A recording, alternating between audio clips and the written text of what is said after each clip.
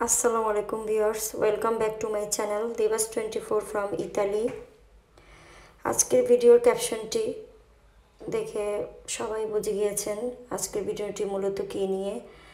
হ্যাঁ অত্যন্ত দুঃখ ভারাক্রান্ত মন নিয়ে বলতে হচ্ছে যে, করোনা নিয়ে ইতালি যাত্রা ফিরতে হলো বাংলাদেশিদের।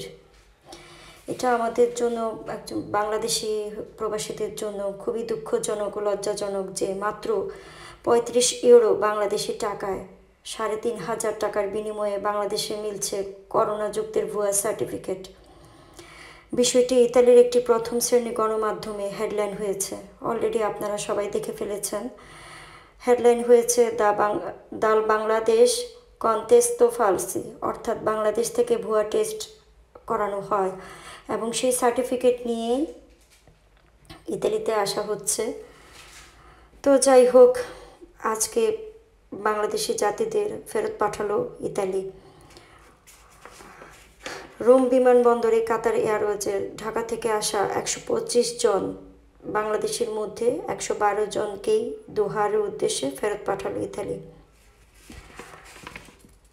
বর্তমান পৃথিবীর একমাত্র হাস্যকর জাতিতে আমরা পরিণত হয়েছি, আমরা বাঙালিরা। এটা আমাদের জন্য খুবই লজ্জাজনক ইতালিতে।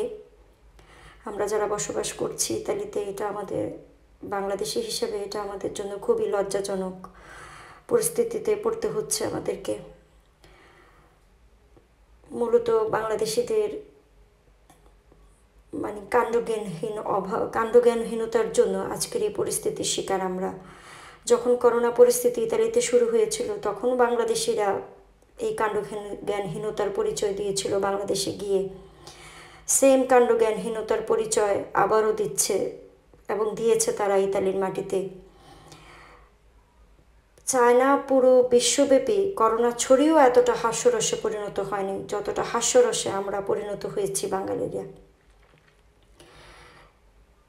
ইতালি যখন মোটামুটি সুস্থতার পথে, আর ইতালি গভর্নমেন্ট যখন আমাদেরকে পারমিশন দিয়েছে ইতালিতে বিমান ইতালির বাংলাদেশ টু ইতালি রুটে বিমান চালু করার পারমিশন দিয়েছে।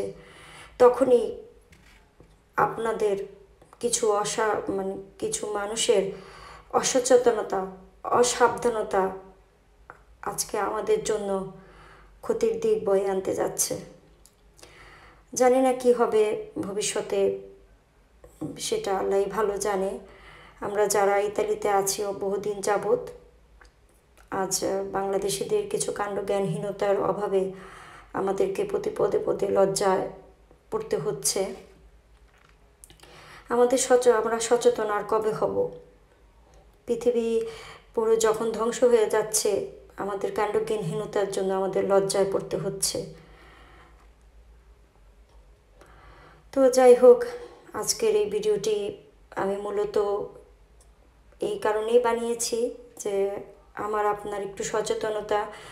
আমরা বিদেশের মাটিতে প্রবাসী হয়ে সবার কাছে যেন মূলত নিজেদের দেশকে, নিজেদের, নিজেদেরকে একজন গর্বিত জাতি হিসেবে বিশ্বের দরবারে উপস্থাপন করতে পারি, এটা আমাদের আমার, আপনার সবারই কাম্য। আমাদের একটু সচেতনতা আমাদেরকে একটা সুন্দর জাতিতে পরিণত করতে পারে।